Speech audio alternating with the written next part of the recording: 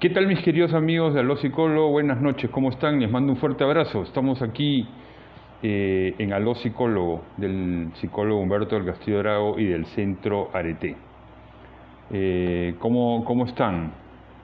Vamos a esperar que algunos se conectan, se conecten. Eh, hoy día 17 de diciembre vamos a conversar de, de, un, de un tema eh, que de pronto a algunos les parece raro, particular, pero pues es un, es un trastorno.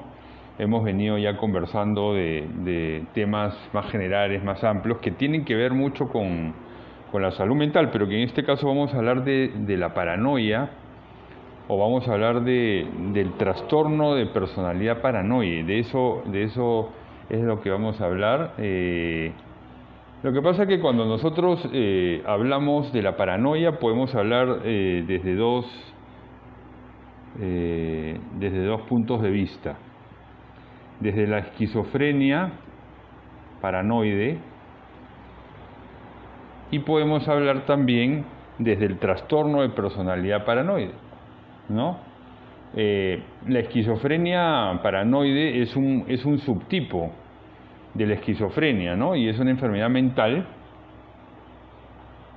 que no, no, no, no conlleva una, una, alteración anatómica observable y cuya principal característica es que afecta a la personalidad de la, de la persona, ¿no? así como a distintas áreas de, de su psicología. ¿no? Pero yo quiero referirme más que a la, a la esquizofrenia paranoide, me quiero eh, referir más bien a la personalidad paranoide. Entonces vamos a ir eh, conversando y como saben, el programa más o menos dura hasta las ocho y media, ocho y cuarenta máximo y pueden ir ustedes haciendo preguntas, eh, comentarios, ¿no? Les, les invito Amigos, a que, ah, Úrsula, ¿cómo estás? Hace, hace tiempo que no, no hablamos, aunque el otro día también nos, nos saludaste por acá, muchas gracias. Eh, a ver, compartan, queridos amigos, este video para que llegue a más personas, ¿no? Y también eh, hay un pequeño resumen, hay un pequeño resumen, una infografía, un gráfico eh, del psicólogo ahí en, el, en, el, en, este canal YouTube para que también lo puedan compartir porque claro hay, hay gente que de pronto no quiere ver el video no, no lo puede ver ¿no? pero es muy importante que vean esto acuérdense que eh,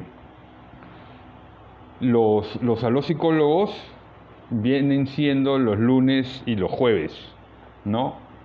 los lunes y los jueves a las 8 de la noche el próximo, el próximo lunes 21 va a ser el último aló del año, porque después viene 24, vísperas de Navidad no vamos a hacer, 31 vísperas de Año Nuevo tampoco, el 28 vamos a dar un, descanso y ya vamos a volver el 11 con una renovación eh, programada eh, y necesitamos que ustedes, eh, unos programas renovados, necesitamos que ustedes nos sugieran temas, etcétera.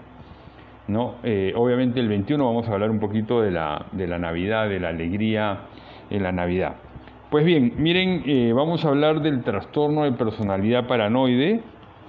Eh, más o menos estamos hablando de 6, entre 6 y 8 síntomas. Yo me voy a basar en el DSM5 y los vamos a explicar. Y después esperamos que sus comentarios, sus preguntas, sus aportes, necesitamos eh, a los psicólogos, queridos amigos, es una conversación, es un diálogo. Entonces es muy bueno cuando hay muchos comentarios, muchas preguntas, eh, muchas sugerencias. Entonces miren lo que dice. Desconfianza y suspicacia intensa frente a los demás. De tal manera que sus motivos se interpretan como malévolos, ¿no? malintencionados, podríamos decir, que comienza en las primeras etapas de la edad adulta está presente en diversos contextos. ¿no? Entonces hay una desconfianza, una suspicacia frente a las demás personas. ¿no? Y ahora vamos a ver un poquito los, los síntomas que van a, van a aterrizar esto. ¿no? Desconfianza y suspicacia intensa frente a los demás, de tal manera que sus motivos se interpretan como malévolos, ¿no? Como que me van a hacer daño, eh, como que están conspirando conmigo, como que van a hablar mal de mí, etcétera, ¿no? Entonces, miren qué, qué interesante. Muy bien a todos los amigos que, que nos están saludando, les pido por favor que compartan este video en sus muros para llegar a más personas y también pueden compartir la, infografía. No sé si Fernanda está por ahí. Muy bueno, Fernanda, si nos compartes en este chat eh, la infografía para que los amigos que están llegando eh, puedan, puedan también compartirla, conocerla ¿no? y, difundirla. Entonces, miren, frente a la desconfianza y suspicacia frente a los demás, ¿no es cierto? Y donde se ve, digamos, como de pronto como una actitud malévola, ¿no es cierto? Eh, en los demás, ¿no es cierto? Hay siete, siete síntomas, ¿no? Siete síntomas eh, que son importantes. Vamos a ver si aquí logramos, listo, aquí estamos, ya saben, los amigos que quieren poner sus comentarios, los van poniendo aquí, yo, lo, yo ya, ya, ya lo puse ya puse mi portátil aquí para verlos. Nos saluda Yuri, nos saluda Javier, nos saluda Úrsula. Úrsula y Javier son desde México. Lorena creo que es desde Cajamarca.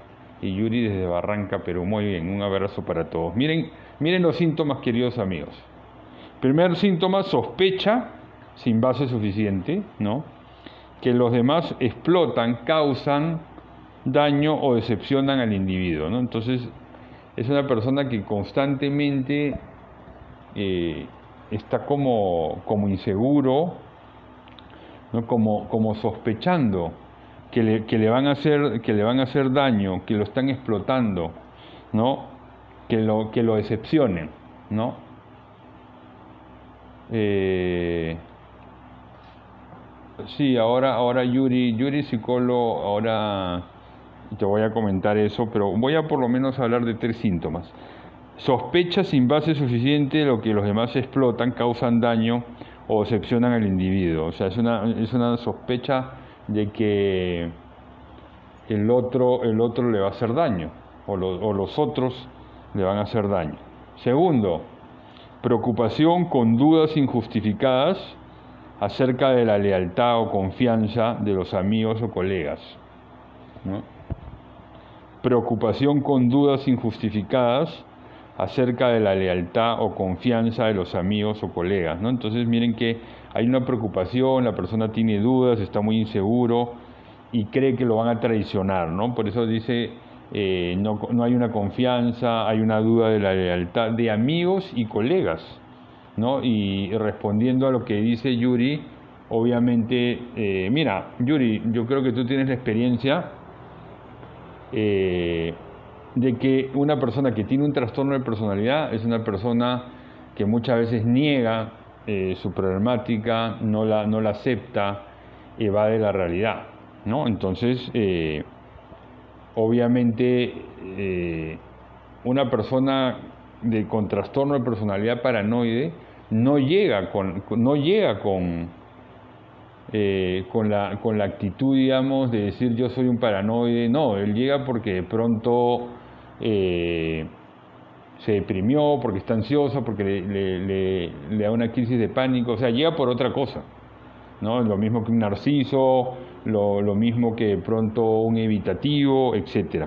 Tercera característica, poca disposición a confiar en los demás debido al miedo injustificado a que la información se utilice maliciosamente en su contra. Entonces es obvio que no va, no va a confiar en, así nomás en el, en el psicólogo o en el psiquiatra. Poca disposición a confiar en los demás debido al miedo injustificado a que la información se utilice maliciosamente. Entonces hasta ahí tres de los, de los síntomas de las características. Entonces, eh, no sé, hay, algunos comentarios o preguntas. Ana Rueda está saludando. Miren, aquí si alguno de ustedes quiere una consulta psicológica, ahí tienen, más 57 313 660 30 68. Yo voy a estar trabajando hasta el 26 a full ¿no es cierto? Ahí, eh, si Dios eh, quiere y el COVID me lo permite, eh, voy a tratar de hacer un viaje, de ahí regreso, voy a trabajar el, el 2 y de ahí me voy de ejercicios espirituales, de retiro, ¿no es cierto? Y de ahí ya trabajo un poco el 8 y solamente el 8 y ahí ya regreso a trabajar el 12, pero me pueden ir contactando para quedar la cita, ¿no? Entonces, bueno, aquí, aquí estoy leyendo eh, algunas preguntas. Les estamos presentando la, infografía. Dice, doctor, ¿estos comportamientos de desconfianza acentuados en edad adulta avanzada pueden ser considerados síntomas de conducta paranoica? Pero, Javier, justamente eh, de lo que yo estoy hablando es de un trastorno de personalidad paranoide. Entonces, no, no entiendo bien tu pregunta, la verdad. No sé si me la explicas un poquito y, vamos dialogando. Porque justamente eh, la persona que tiene una personalidad paranoide tiene estos siete síntomas, de los cuales estoy comenzando a hablar y ya hablé de tres. Sospecha sin base suficiente de que los demás me explotan, ¿no? Me causan daño. segundo, preocupación con dudas injustificadas acerca de la lealtad, o sea, que me van a traicionar, que no puedo confiar en nadie, etc. Tercero, poca disposición a confiar en los demás debido al miedo injustificado a que la información se utilice maliciosamente en su contra. O sea, creo, todo el tiempo eh, estoy pensando que están conspirando contra mí, que me, que me van a hacer daño, ¿no es cierto? Entonces, que, no puedo confiar en nadie. ¿Ok? Entonces, eso, ese es un tema importante. Eh, muy bien. Entonces, ¿qué otra pregunta hay? Vamos, vamos a ver si... Estoy viéndolo aquí en, mi portátil que está atrás de esto. Lorena, Úrsula, Javier, Yuri. Ya saben, eh, me pueden llamar, copien ese teléfono, más 57 313 660 3068, difundan este video, difundan también la infografía. Eh, ya pronto vamos a llegar a a 5.000 eh, me gusta en el, en el psicólogo Humberto del Castillo Drago. También los quiero invitar a que se suscriban a mi canal YouTube. Ahí hay unas charlas que son eh, de un estilo un poco distinto, son con diapositivas, ¿no? Son de pronto más cortas, obviamente son menos participativas, pero son, estamos tratando de hacer algo formativo. Así que los invito al canal YouTube del psicólogo Humberto del Castillo Drago Vamos a poner ahí también en este momento el enlace para los que no se han suscrito, se suscriban y también pongan la campanita para que les lleguen las notificaciones. Todas las semanas estamos subiendo algún programa. Dice, sí, claro, me refiero a un adulto mayor que expresa que los demás se aprovechan de él o ella, que gastan su dinero o que la comida la quieren envenenar. Mm, bueno, a ver, Javier Burgos, eh, interesante, sí. No, no, no me, no, disculpa que no me había dado cuenta que la pregunta era sobre los eh, adultos mayores, o no sé si lo formulaste así. Ah, en la edad adulta avanzada. Ah, y así, no, no me había dado cuenta, discúlpame. A ver, hay que tener cuidado con eso, eh, porque mm, un adulto mayor uno de los síntomas es que se siente muy solo y muchos adultos mayores que van perdiendo funciones cognitivas, ¿no? Mm, tienden a mezclar cosas, entonces, eh, por ejemplo, ellos guardan una billetera, guardan un lapicero y luego no lo encuentran. Entonces dicen, me lo robaron, ¿no? Entonces, los adultos mayores cuando van perdiendo eh, funciones o facultades, perdón, cognitivas, se van confundiendo. Es más, cuando hay un, principio de lo que antes se llamaba eh, demencia senil o, o, digamos unos principios de Alzheimer, puede haber una cierta confusión y la persona ahí no es paranoica. No, no es que sea paranoica, es porque su cerebro ya no está procesando bien eh, su cerebro eh, puede estar con unos principios de demencia senil, de Alzheimer o, de algún trastorno del, neurodesarrollo. Entonces eso, eso hay que considerarlo así. La persona vive permanentemente desconfiando de todos y se le complica la relación con los demás. Mira, Javier, lo que yo creo es que tú lo tienes que llevar a un psicólogo clínico. El otro día me trajeron a mí eh, una señora, bueno, no la trajeron, en realidad hablé con, con el hijo y con la esposa del hijo y eh, a mí me parecía que esa, esa señora lo que necesitaba era medicación porque sí se le veía con rasgos paranoides, paranoides ¿no? entonces yo la remití simplemente por lo que me contaron con la psiquiatra, ¿no? Entonces, eh, ese, ese, es un problema, ¿no? ¿Cómo se trabaja en familia la personalidad paranoide de un niño adolescente? Siendo que el niño no desea asistir a psicoterapia. Bueno, Úrsula, eh, primero hay que ver si realmente podemos hablar de que un niño o un adolescente eh, tiene paranoide, o sea, tiene personalidad paranoide, porque acuérdate que eh, cuando una persona es adolescente no se le puede hacer un diagnóstico de ningún tipo de trastorno de personalidad. ¿Por qué? Porque la personalidad se está conformando, salvo que yo le haga un tratamiento, una terapia, de un año y yo durante ese año vaya conformando, vaya confirmando, perdón, los síntomas, ¿no? Entonces, eh, yo no sé si podamos, yo creo que no podemos eh, eh, diagnosticar a un adolescente con personalidad paranoide, salvo que lo tengas en tratamiento un año, ¿no? Entonces, eso, no sé si, si me quieres aportar algo más, si quieres darme más datos con respecto a lo que me estás diciendo. No sé si me estás hablando de, de un caso específico, ¿no? para que sigamos dialogando. Después dice Javier Burgo, los cuidadores que pueden ser familia cercana, hijos, nietos, etcétera, o bien profesionales, sufren mucho junto al adulto mayor, sí, total. Eh, o sea, ¿qué pasa pues? Eh, eh, ¿cómo se llama? Efectivamente, un adulto mayor va perdiendo sus facultades y es triste, ¿no? Y creo que todos hemos tenido o tenemos a alguien cercano, ¿no?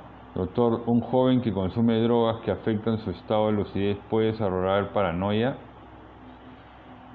Mira, yo creo, Javier, que más bien es al revés. Yo creo que un paranoide puede comenzar a consumir eh, alcohol, porque la paranoia no incluye delirios, ¿no? Eh, yo creo que sería al revés, que la personalidad paranoide lo puede llevar al consumo del alcohol o, de sustancias eh, en general, ¿no? Eh, me refiero a rasgos paranoides, no necesariamente a personalidad paranoide. Ah, bueno, sí, Está bien, eh, está bien Úrsula, ya te entiendo. Claro, yo e, es que como en este momento yo estoy hablando más de la personalidad paranoide, ¿no? Pero miren, yo voy a leer ahora los, los, ya que Úrsula me está preguntando sobre eso, vamos a, vamos a, a profundizar en los rasgos de la esquizofrenia, de la esquizofrenia paranoide, dice manía persecutoria, ¿no? Eh, sentimientos de, de, misión especial en la vida, sentimientos de transformación corporal, alucinaciones auditivas, alucinaciones de otra índola como el olfato, las gestatorias, sentimiento de ser espiado, perseguido, investigado, mirado, ¿no? visiones y referencias al sentido de, la mente, ¿no? referidas al tema de quien podría ver la mente o uno podría ver la mente ajena mediante telepatía o sentido de la mente, la naturaleza de la mente. ¿no? Entonces, eh, lo primero que nosotros tenemos que hacer es a estas personas, Úrsula, hay que llevarlas al psiquiatra para que los medique. ¿no? Hay que tratar de establecer y mantener eh, un vínculo terapéutico, que es importante. Se necesita, digamos, eh, la vigilancia y el tratamiento de, un psiquiatra, ¿no? La vigilancia del estado psiquiátrico del, paciente y eso lo tiene que hacer pues eh, un, psiquiatra, ¿no? hay que hacer psicoeducación, ¿no? O sea, al muchacho, al chico, a la persona que tú está, en la que tú estás pensando, hay que decirle, mira, tú tienes este síntoma, no necesariamente hay que decirle el trastorno que tiene, no necesariamente hay que ponerle nombre, pero sí uno le, le dice, mira, tú estás pensando esto, te está pasando esto, es como que le escribimos los, como que le escribimos los, los síntomas, ¿no? Sin, sin darle un, un diagnóstico porque creo que eso puede ser contraproducente, ¿no?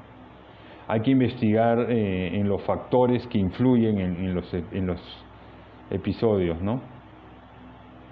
Y bueno, hay que, hay que recurrir en los sistemas de asistencia de, salud mental. Pero bueno, eso específicamente al esquizofrénico paranoide, ¿no? Porque es la pregunta que, que estaba haciendo Úrsula. ¿no? Pero bueno, me gusta que, participen, me gusta que pregunten mucho. Compartan, queridos amigos, este video para que llegue más personas. Compartan también la, infografía. Tenemos algunos minutos más para, seguir conversando. Dice, ¿será un predisponente a consumo? Mm, sí, pues, o sea, acuérdate que el todo lo que es eh, el, alcoholismo, el uso de, estupefacientes, de, sustancias, digamos, como la cocaína, normal, normalmente se, se, convierten en una evasión de la realidad, en una fuga de la realidad.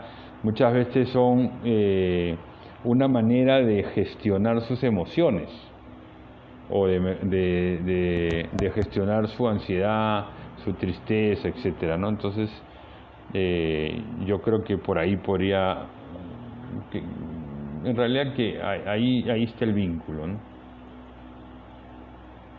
Mm. Muy bien.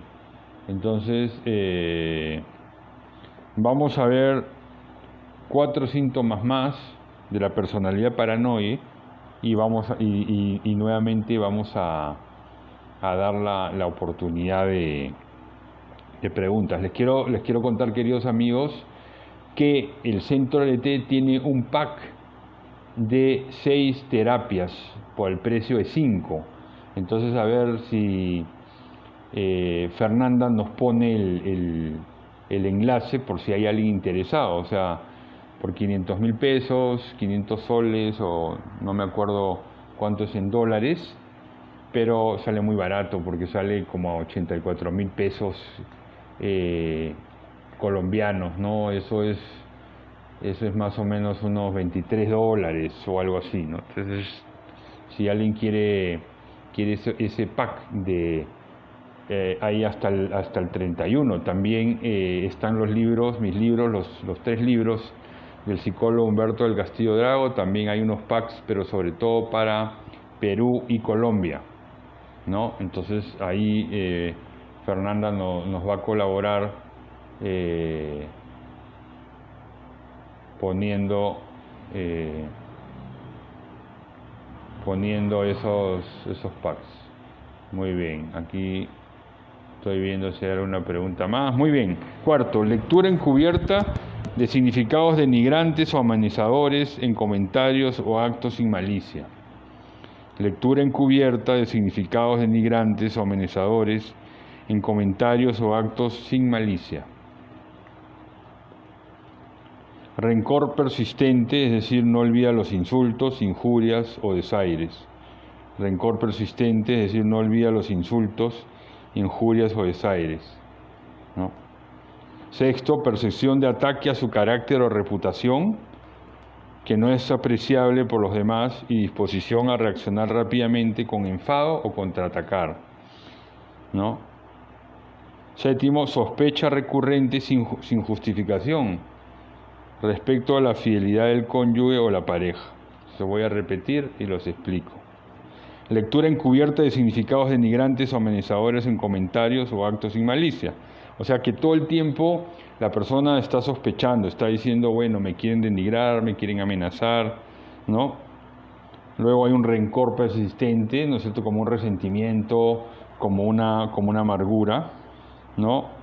Eh, luego se está percibiendo que, hay un ataque a su carácter o reputación que no es apreciable por los demás y disposición a reaccionar rápidamente con enfado o a contraatacar, ¿no?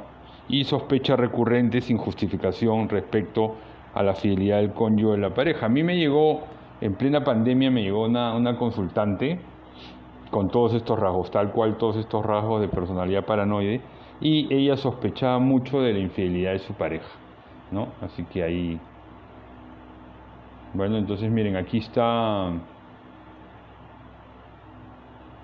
Aquí les han puesto eh, todas las ofertas que tenemos, ¿no? Los descuentos y promociones.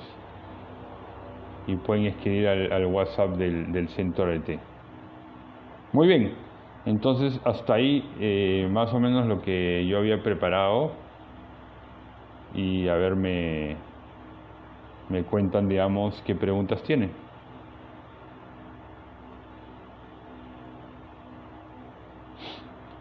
Porque es, es sospecha sin base insuficiente, preocupación con dudas injustificadas, poca disposición a confiar en los demás debido al miedo injustificado que la información se utilice maliciosamente, lectura encubierta de significados denigrantes, rencor persistente, percepción de ataque a su carácter o reputación que no es apreciable por los demás y sospecha recurrente, sin justificación respecto a la fidelidad del cónyuge o la pareja, ¿no? Entonces miren eso.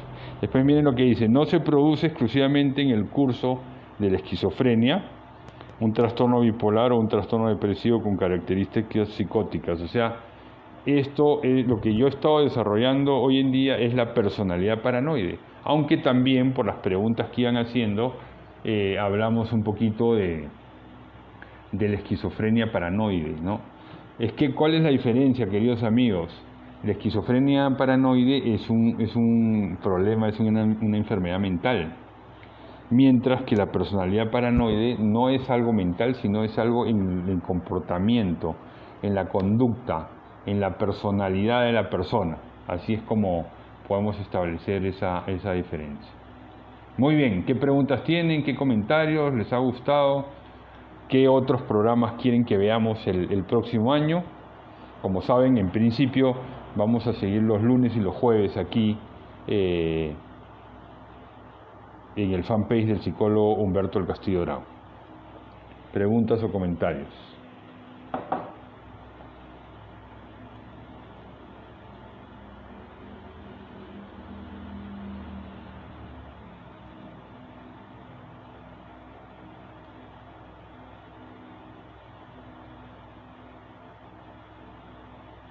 No hay ninguna pregunta más, no hay ningún comentario.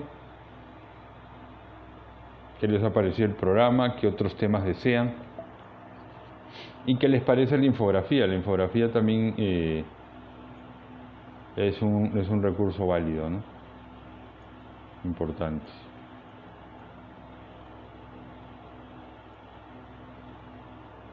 Muy bien, entonces si no hay ninguna pregunta más, nos vamos a ver el lunes el lunes 21. Eh, el lunes 21 eh, vamos a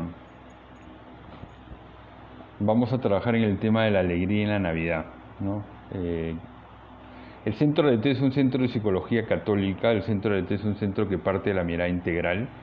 Nosotros no, no, nos enfocamos en la enfermedad, sino en la salud no nos, no, no, no nos enfocamos tanto en la patología, sino en que la persona viva la valoración personal, la aceptación personal, la reconciliación, eh, la virtud. Me parece que eso es, eso es muy importante. Entonces, eh, nos es sumamente con natural hablar de otros temas eh, distintos y, y, salir un poquito de lo patológico.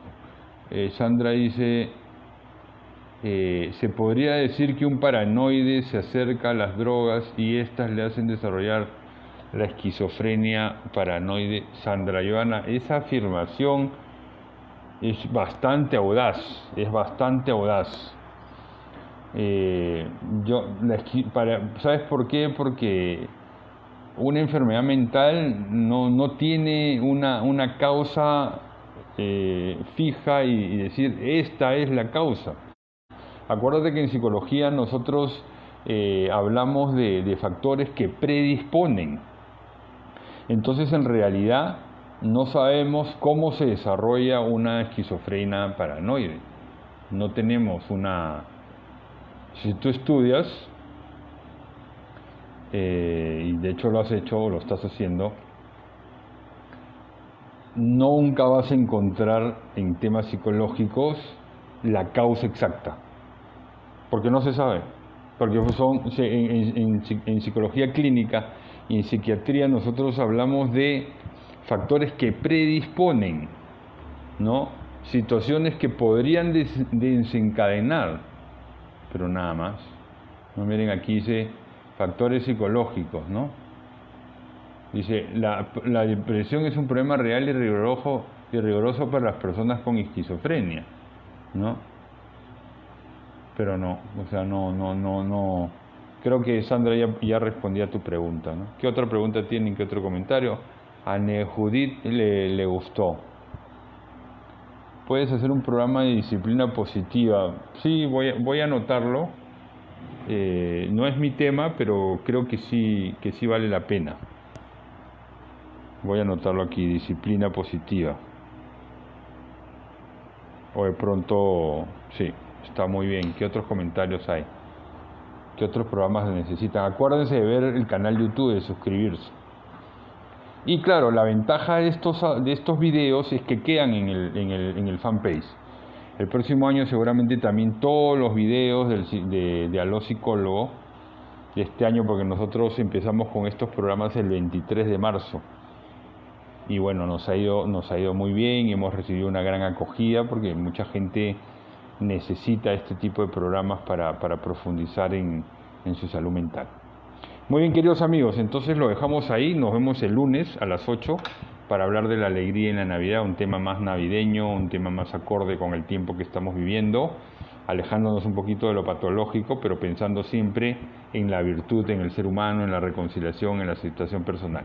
Muy bien, entonces compartan este video, compartan por favor la infografía, compartan también el canal YouTube, ¿no? Para seguir creciendo. Ya estamos por llegar a, a 2.000 suscriptores estamos avanzando bastante bien.